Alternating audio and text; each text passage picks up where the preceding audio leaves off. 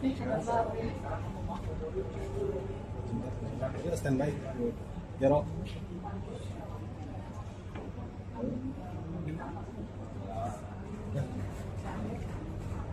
Kawan, eh, gimana pertandingan hari ini? Kamu eh, kunci kemenangannya kemenangannya semangat mas tadi soalnya set kedua tegas juga sih kaliannya lebih apa ya, di, lebih mainnya lebih masuk dibanding pertama dia kurang nyaman kondisi lapangan Tapi apa yang bikin kamu bisa tetap neken dan dominasi dia? uh, apa ya kan karena dulu juga sempat ketemu kalian nih jadi uh, kebagusan sama kelemahannya kebaca juga kan. Terus lebih tepatnya karena ada mama papa yang nonton kan kayak.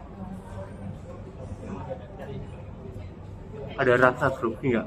Turun di ta- turnamen super 500 iya grogi sih. Cuman kan sebelumnya pernah sekali jadi kayak udah tahu pemain yang bagus-bagusnya kayak mana mainnya.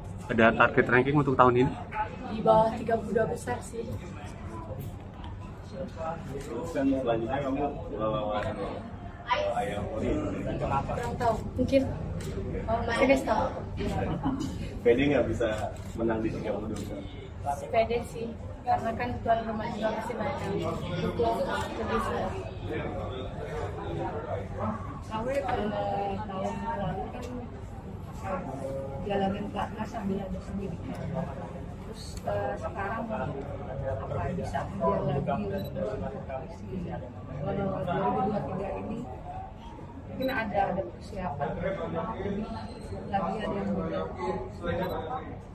Ya karena tahun tahun lalu kan eh, sama menjalani pelatnas sama pendidikan. Nah untuk tahun ini untuk bisa perform lagi di badminton bisa lagi ada persiapan lagi Iya, suka jadi ditambahin terus sih latihannya sama pencurian yang kecil dibanding yang lain. jadi waktu latihan kamu lebih lebih lama gitu. kayak kalau yang lain udah selesai, kadang suka ditambahin. Ini turnamen pertama setelah lulus nah gimana rasanya balik lagi back on court itu ada rasa Ini ya, deg-degan sih.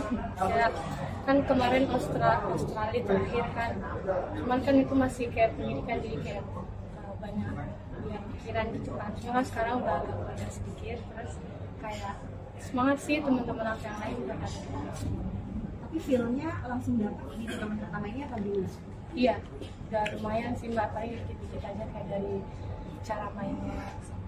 Eh, baru sebulan juga kan latihan lapangan. sempat lupa nggak sih sama atmosfer uh, pertandingan terus apalagi di Istora. Enggak sih, kan terakhir Australia juga lumayan banyak yang tapi ngomongin Iya, tuh kayak pengen banget main di sini kan, cuman kemarin bisa dan berdua main terus main. Bahwa ini kan kemarin Grego tuh eh, sempat naik ya performanya ya di akhir tahun kemarin mereka dia ngalahin unggulan gitu nah buat KW gimana tuh Eh, capaian-capaian Grego menginspirasi atau gimana Iya, membawa nama tunggal putri jadi lebih baik kan.